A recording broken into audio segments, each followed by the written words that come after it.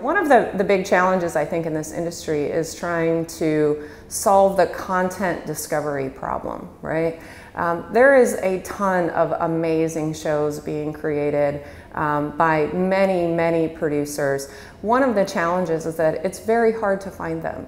And so we think that uh, one of the main ways that people find great content is mainly through their friends, through social media, through maybe even just having dinner um, and talking about um, what shows you love. And so uh, a big part of uh, how we think about content discovery is really making the most of social platforms or social media to enable people to find content. And so to that end, uh, this week we released uh, a new video player uh, that we've been working on for a very long time, and uh, we've integrated the Open Graph into our video player itself.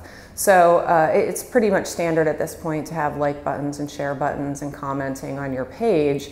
We've actually taken those features and integrated them into the player itself. And so what that means is that the conversation basically goes with you. So as the content uh, becomes viral, as it's shared through Facebook, as it's um, you know, kind of sent through um, the digital platforms, the conversation goes with you wherever you go. So right from within inside the player, uh, you can love an episode, you can save it for later, uh, you can comment on it right with inside the player, and that commenting uh, also gets posted to Facebook as well as to your page on blip.com.